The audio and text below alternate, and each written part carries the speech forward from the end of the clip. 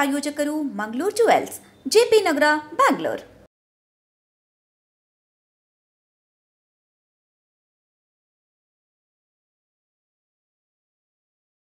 ನಮಸ್ಕಾರ. ನಾನು B K Sumitra ಹಿನ್ನೆಲೆ ಗಾಯಕಿ ಮಾತಾಡ್ತಾ ಇರೋದು. ನಾನು ಹುಟ್ಟಿರೋದು ಬೆಳಲ್ಕೊಪ್ಪ ಅಂತ ಹೊರನಾಡು ಶೃಂಗೇರಿಗೆ ಮಧ್ಯೆ ಒಂದು ಭಾಳ ಹಳ್ಳಿ.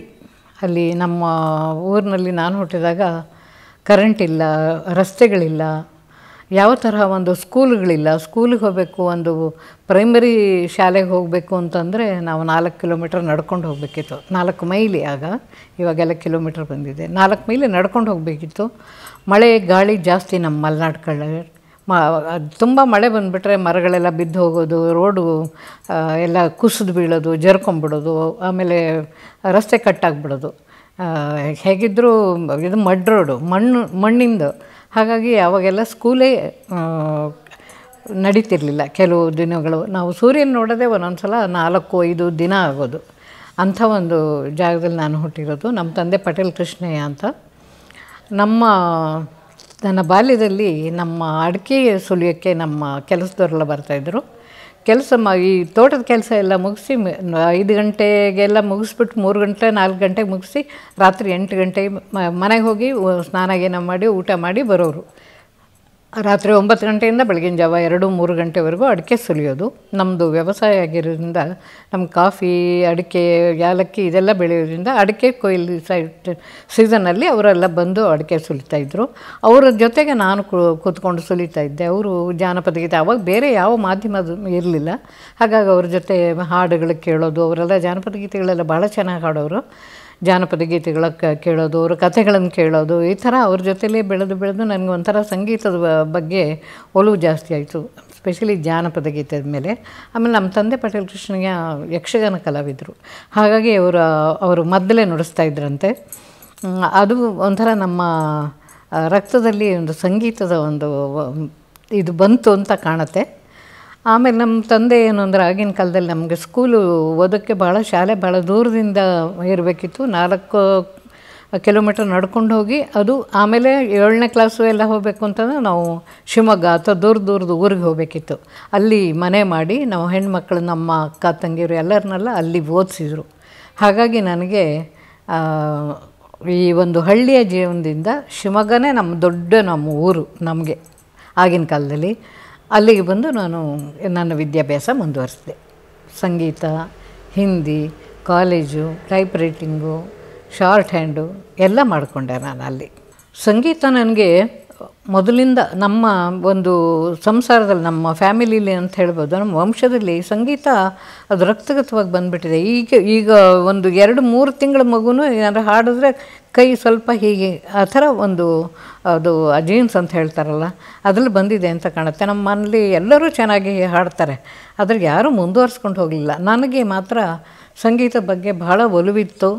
ಹಾಗಾಗಿ ನಾನು ನಮ್ಮ ತಂದೆ ಒಂದು ನನ್ನ ಸಂಗೀತಕ್ಕೋಸ್ಕರ ಎಂ ಪ್ರಭಾಕರ್ ಅಂತ ಪಂಡ್ರಿಬೆಯವರು ಸಹೋದರರು, ಅವರು ಅಲ್ಲಿ ಶಿವಮೊಗ್ಗದಲ್ಲಿದ್ದರು. ಅವ್ರ ಹತ್ರ ನಾನು ಜೂನಿಯರು ಸೀನಿಯರ್ ಎಲ್ಲ ಪಾಠ ಕಲ್ತ್ಕೊಂಡೆ. ಆ ಥರ ನನಗೆ ಸಂಗೀತದ ಒಲವಿದ್ದಿದ್ದರಿಂದ ಅದ್ರ ಬ, ಅದರಿಂದ ಮುಂದುವರಿಯಕ್ಕೆ ನನಗೆ ತುಂಬ ಅನುಕೂಲ ಆಯಿತು. ನನ್ನ ತಂಗಿಯರು ಎಲ್ಲ ಕಲ್ತ್ಕೊಂಡ್ರು, ಆದರೆ ಅವರು ಯಾರೂ ಮುಂದುವರಿಸಲಿಲ್ಲ. ನಾನು ಮಾತ್ರ ಇದು ಒಂದು, ಈ ಒಂದು ಲೈನಲ್ಲೇ ಮುಂದುವರ್ಕೊಂಡು ಹೋದೆ. ನನಗೆ ಸಂಗೀತದ ಒಲವಿದ್ದರಿಂದ ಶಾಸ್ತ್ರೀಯ ಸಂಗೀತ ಕಲಿತೆ, ಅದಾದಮೇಲೆ ಸುಗಮ ಸಂಗೀತಕ್ಕೆ ಲಘು ಸಂಗೀತನೂ ಕಲಿಯೋಕ್ಕೆ ಶುರು ಮಾಡಿದೆ. ನಮ್ಮ ತಂದೆ ಆಮೇಲೆ ಪಂಡ್ರಿಬಾಯಿಯವರ ತಂದೆಯವರು ಸ್ನೇಹಿತರು. ಹಾಗಾಗಿ ನಾನು ಪಂಡ್ರಿಬಾಯಿಯವರ ಅಣ್ಣನ ವಿದ್ಯಾರ್ಥಿಯಾಗಿದ್ದರಿಂದ ಮದ್ರಾಸ್ ನೋಡೋಕ್ಕೆ ನಮ್ಮ ತಂದೆ ಒಂದ್ಸಲ ನನ್ನನ್ನು ಕರ್ಕೊಂಡು ಹೋದರು.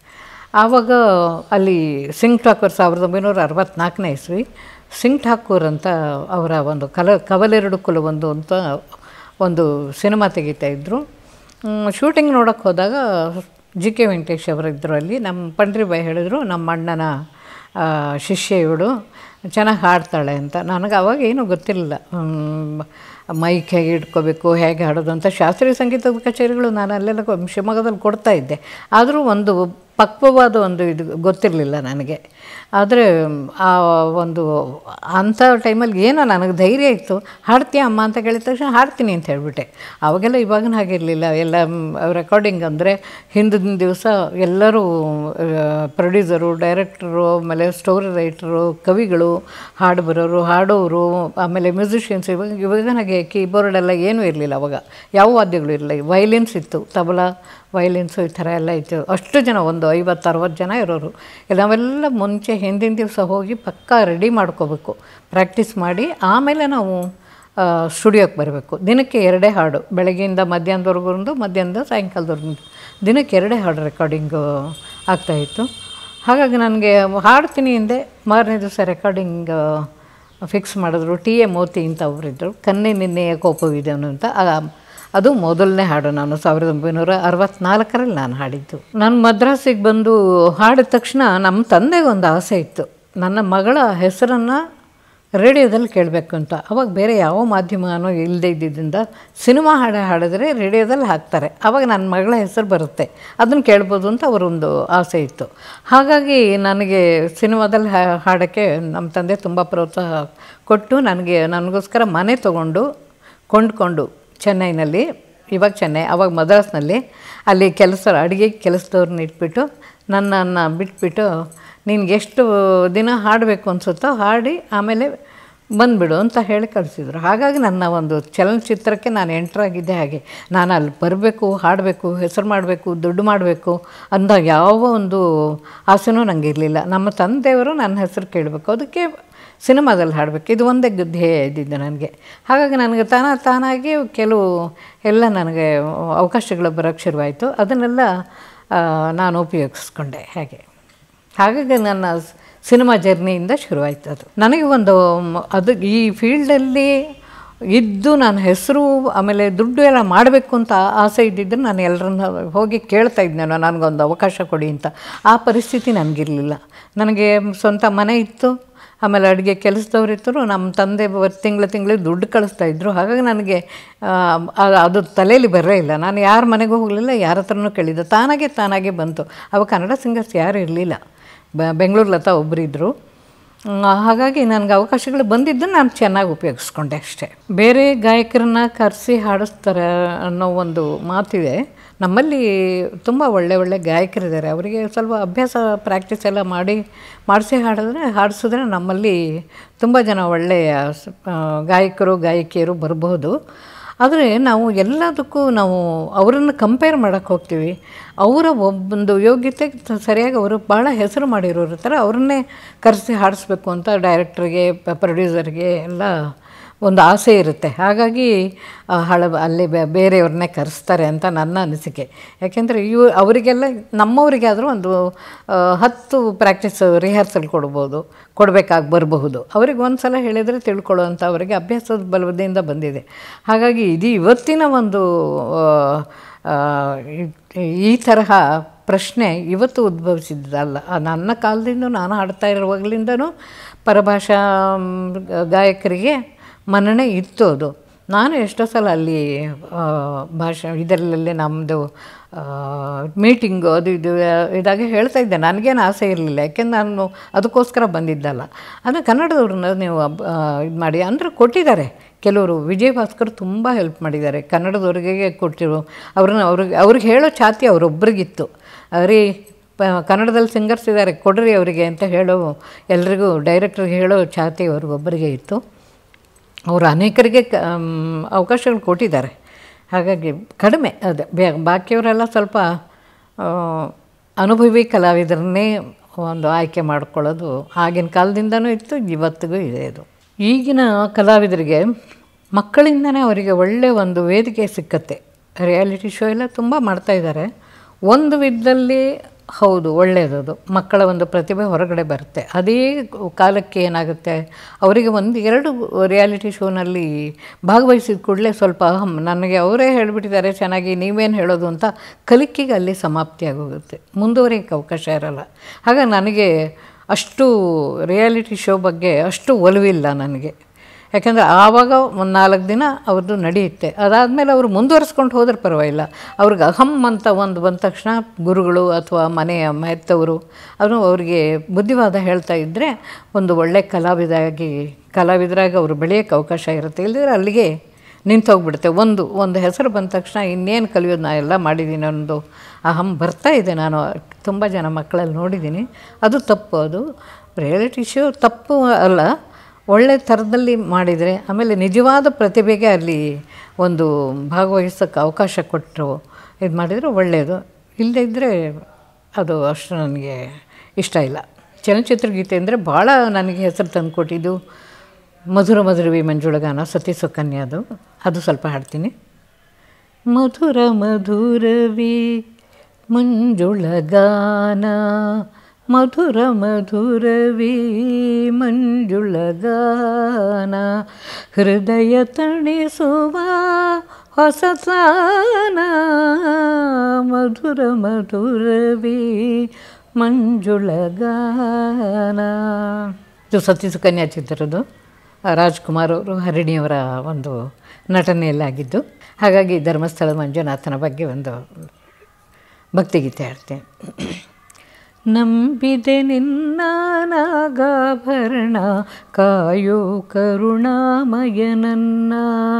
ನಂಬಿದೆ ನಿನ್ನ ನಾಗಾಭರಣ ಕಾಯೋ ಕರುಣಾಮಯನನ್ನ. ನಿನ್ನೀ ನಾಮವು ಒಂದೇ, ನೀಗಿಸಬಲ್ಲದು ಬಾಧೆ. ನಿನ್ನೇ ನಾಮವು ಒಂದೇ ನೀಗಿಸಬಲ್ಲದು ಬಾಧೆ. ತನುಮನ ಜೀವನ ಪಾವನವಯ್ಯ. ಶಂಭೋ ಎನ್ನಲು ಇಲ್ಲ ಭಯ. ನಂಬಿದೆ ನಿನ್ನ ನಾಗಾಭರಣ. ಕಾಯೋ ಕರುಣಾಮಯನನ್ನ ಜಾನಪದ ಗೀತೆ ಅಂದರೆ ನನಗೆ ಬಹಳ ಹೆಸರು ತಂದುಕೊಟ್ಟಿದ್ದು ನಿಂಬಿಯ ಬನದ ಮಗಳ ರಾಗಿ ಬೀಸು ಹಾಡು ನಿಂಬಿಯ ಬನದ ಮ್ಯಾಗಳ ಚಂದ್ರಮ ಚಂಡಾಡಿದ ನಿಂಬಿಯ ಬನದ ಮ್ಯಾಗಳ ಚಂದ್ರಮ ಚಂಡಾಡಿದ. ನಿಂಬಿಯ ಎದ್ದೋನೇ ನಿಮ್ಮ ಜ್ಞಾನ ಏಳು ತಲೆ ನಿಮ್ಮ ಜ್ಞಾನ. ಸಿದ್ಧಾರ ಜ್ಞಾನ, ಸಿವು ಜ್ಞಾನ, ನಿಂಬಿಯ ಸಿದ್ಧಾರನೇ ಜ್ಞಾನ ಶಿವು ಜ್ಞಾನ ಮಾ ಶಿವನೇ, ನಿದ್ರೆ ಗಣ್ಣಾಗೆ ನೇಮ ಜ್ಞಾನ, ನಿಂಬಿಯ ನಿಂಬಿಯ ಬನದ ಮ್ಯಾಗಳ ಚಂದ್ರಮ ಚಂಡಾಡಿದ ನಿಂಬಿಯ. ಇನ್ನು ಭಾವಗೀತೆಯನ್ನು ತಗೊಂಡ್ರೆ ಎಚ್ ಕೆ ನಾರಾಯಣವರ ಸಂಗೀತ ನಿರ್ದೇಶನದಲ್ಲಿ ಕೆ ವಿ ಪುಟ್ಟಪ್ಪ ಅವರ ಬೃಂದಾವನಕ್ಕೆ ಹಾಲನ ಮಾರಲು. ಈಗಲೂ ಕಾರ್ಯಕ್ರಮಕ್ಕೆ ಹೋದರೆ ಆ ಹಾಡು ಸಾಧಾರಣ ಹಾಡಿಸಿ ಹಾಡಿಸ್ತಾರೆ. ಬೃಂದಾವನಕ್ಕೆ ಹಾಲನು ಮಾರಲು ಹೋಗುವ ಬಾರಿ ಬೇಗ ಸಖಿ, ಹೋಗುವ ಬಾರೇ ಬೇಗ ಸಖಿ. ಬೃಂದಾವನದಿ ಹಾಲನು ಕೊಳ್ಳುವರಾರಿಕರೇ ಹೇಳ್ ಇಂದು ಮುಖಿ. ಬೃಂದಾವನದಿ ಹಾಲನು ಕೊಳ್ಳುವರಾರಿಕರೇ ಹೇಳಿಂದು ಮುಖಿ. ಬೃಂದಾವನಕ್ಕೆ ಹಾಲನು ಮಾರಲು ಹೋಗುವ ಬಾರಿ ಬೇಗ ಸಖಿ, ಹೋಗುವ ಬಾರಿ ಬೇಗ ಸಖಿ. ನನಗೆ ಈಗ ಕರ್ನಾಟಕ ಘನ ಸರ್ಕಾರದವರು ಕೊಡೋ ಎಲ್ಲ ಪ್ರಶಸ್ತಿಗಳು ಬಂದಿದೆ. ಸಾವಿರದ ಒಂಬೈನೂರ ತೊಂಬತ್ತರಲ್ಲಿ ತೊಂಬತ್ತ ಒಂದರಲ್ಲಿ ಕನ್ನಡ ರಾಜ್ಯೋತ್ಸವ ಪ್ರಶಸ್ತಿ, ತೊಂಬತ್ತೆರಡರಲ್ಲಿ ಸಂಗೀತ ನೃತ್ಯ ಅಕಾಡೆಮಿಯವರ ಅಕಾಡೆಮಿ ಪ್ರಶಸ್ತಿ ಆಮೇಲೆ ತೊಂಬತ್ತ ನಾಲ್ಕರಲ್ಲಿ ಪ್ರಥಮ ಬಾರಿಗೆ ಕೆಂಪೇಗೌಡ ಪ್ರಶಸ್ತಿನ ಒಂದು ಕೊಡೋಕ್ಕೆ ಶುರು ಮಾಡಿದ್ರು. ಅದು ಆರೈ ಜನಕ್ಕೆ ಕೊಟ್ಟರು ಒಬ್ಬರು ಸಮಾಜ ಸೇವೆ ಒಬ್ಬರು ರಂಗಭೂಮಿ ಒಬ್ಬರು ಸಂಗೀತ, ಈ ಥರ ಆರಿಸಿ ಕೊಟ್ಟರು ಹಾಗಾಗಿ ಅದು ಮೊದಲನೇದಾಗಿ ನನಗೆ ಬಂತು. ನನಗೆ ಕೆಂಪೇಗೌಡ ಪ್ರಶಸ್ತಿ. ಇನ್ನು ಅನೇಕ ಆಳ್ವಾಸ್ ನುಡಿಸಿರಿ, ಪ್ರಶಸ್ತಿ ಬಂತು, ಆಮೇಲೆ ಗಾಯನ ಸಮಾಜದವರು ಒಂದು ಪ್ರಶಸ್ತಿ ಕೊಟ್ಟರು ಇದೆಲ್ಲ ಬಹಳ ನನಗೆ ಒಂದು ಪ್ರಶಸ್ತಿ ಬಂದಿದೆ ಅಂತ ಹೇಳ್ಕೊಳ್ಳೋಕ್ಕಿಂತ ನನಗೆ ಅದನ್ನು ಅನುಭವಿಸೋಕ್ಕೆ ಒಂದು ಆರೋಗ್ಯ ಕೊಟ್ಟಿದ್ದಾನ ದೇವರು. ಆ ಟೈಮಿಗೆ ಕೊಟ್ಟು ನನಗೆಲ್ಲ ಪ್ರಶಸ್ತಿ ಬಂದು, ಅದನ್ನು ಅನುಭವಿಸೋಕ್ಕೊಂದು ನನಗೆ ಅವಕಾಶ ಕೊಟ್ಟನಲ್ಲ ದೇವರು. ಅದಕ್ಕೆ ನಾನು ದೇವರಿಗೆ ನಾನು ಧನ್ಯವಾದಗಳನ್ನು ಅರ್- ಅರ್ಪಿಸ್ತೀನಿ. ಏಕೆಂದರೆ ನನಗೆ ವಯಸ್ಸಾಗಿ ನನಗೆ ಅದನ್ನು ಅನುಭವಿಸೋಕ್ಕೆ ಒಂದು ಶಕ್ತಿನೇ ಇಲ್ಲ ಅಂದಾಗ ಅವಾರ್ಡು ಈ ಪ್ರಶಸ್ತಿಗಳು ಬಂದರೆ ಏನೂ ಪ್ರಯೋಜನ ಇಲ್ಲ. ಹಾಗಾಗಿ ನಾನು ಪ್ರಶಸ್ತಿ ಯಾರ್ಯಾರು ಕೊಟ್ಟಿದ್ದಾರೋ ಎಲ್ರಿಗೂ ನಾನು ಧನ್ಯವಾದಗಳನ್ನ ಹೇಳೋಕ್ಕೆ ಇಷ್ಟಪಡ್ತೀನಿ. ಆಮೇಲೆ ಕೊಪ್ಪ ತಾಲೂಕು ಸಾಹಿತ್ಯ ಸಮ್ಮೇಳನದ ಅಧ್ಯಕ್ಷತೆ ಆಗಿತ್ತು ಆಮೇಲೆ ಸುಗಮ ಸಂಗೀತ ಪರಿಷತ್ತಿನ ಒಂದು ಮಂಗಳೂರಲ್ಲಿ ನಡೆದ ಸಮ್ಮೇಳನದಲ್ಲಿ ಅಧ್ಯಕ್ಷತೆ ಹೀಗಾಗಿ ಹೇಳೋದಕ್ಕೆ ಹೋದ್ರೆ ತುಂಬ ಇದೆ. ಎಲ್ರಿಗೂ ನನ್ನ ಧನ್ಯವಾದಗಳು. ಕುಟುಂಬದಲ್ಲಿ ನಾನು ಸುಧಾಕರ್ ಅಂತ ನಮ್ಮ ಯಜಮಾನರು, ನನ್ನ ಮಕ್ಕಳು ಸೌಮ್ಯ, ಅವಳು ಮುಂಬೈನಲ್ಲಿ ಸೆಟ್ಲ್ ಆಗಿದ್ದಾಳೆ. ಅವಳು ಹಿಂದಿ ಹಾಡುಗಳನ್ನೆಲ್ಲ ಕನ್ನಡನೂ ಹಾಡಿದಾಳವಳು ಆಮೇಲೆ ಸುನಿಲ್ ರಾವ್, ನಿಮಗೆಲ್ಲ ಗೊತ್ತು, ಗಾಯಕ, ನಟ. ಹಾಗೆ ನಮ್ಮ ಕುಟುಂಬ ಎಲ್ಲ ಸಂಗೀತದ ಕುಟುಂಬ ಆಗಿದೆ. ಅದೊಂದು ನನಗೆ ಸಂತೋಷದ ವಿಷಯ. ಎಲ್ಲ ಅವರವರ ಒಂದು ವೃತ್ತಿಲಿ ಅವರು ಮುಂದುವರಿತಾ ಇದ್ದಾರೆ. ಮಕ್ಕಳು, ಸುನಿಲಂಗೆ ಮಗು ಆಗಿದೆ ಗಂಡು ಮಗು ಅಥರ್ವ ಅಂತ ಹೆಸರು. ಸುಖವಾಗಿ, ಸಂತೋಷವಾಗಿದ್ದೀನಿ ನಾನು ಓಕೆ ಚಿತ್ತಾರ ಕನ್ನಡ ಯೂಟ್ಯೂಬ್ ಚಾನಲ್ನ ನೀವೆಲ್ಲ ಸಬ್ಸ್ಕ್ರೈಬ್ ಮಾಡಿ ಅವರಿಗೊಂದು ಉತ್ತೇಜನ ಕೊಡ್ತೀರಿ ಅಂತ ನಂಬಿದ್ದೀನಿ. ಚಿತ್ತಾರ ಕನ್ನಡ ಯೂಟ್ಯೂಬ್ ಚಾನೆಲ್ನ ಸಬ್ಸ್ಕ್ರೈಬ್ ಮಾಡಿ. ಚಿತ್ತಾರ ಕನ್ನಡ ಯೂಟ್ಯೂಬ್ ಚಾನೆಲ್ನ ಸಬ್ಸ್ಕ್ರೈಬ್ ಮಾಡಿ. ಚಿತ್ತಾರ ಕನ್ನಡ ಯೂಟ್ಯೂಬ್ ಚಾನಲ್ ಅಂತ ಒಂದು ಬಂದಿದೆ. ಸೊ ಮ್ಯಾಗ್ಝಿನಲ್ಲೂ ಎಷ್ಟು ಇನ್ಫಾರ್ಮೇಷನ್ ಇರಬೇಕಂದ್ರೆ ಯೂಟ್ಯೂಬ್ ಚಾನಲ್ ಇನ್ನೆಷ್ಟು ಇರಬೇಡ. For more information about Kannada and Kannada cinema follow Chittara Kannada YouTube channel.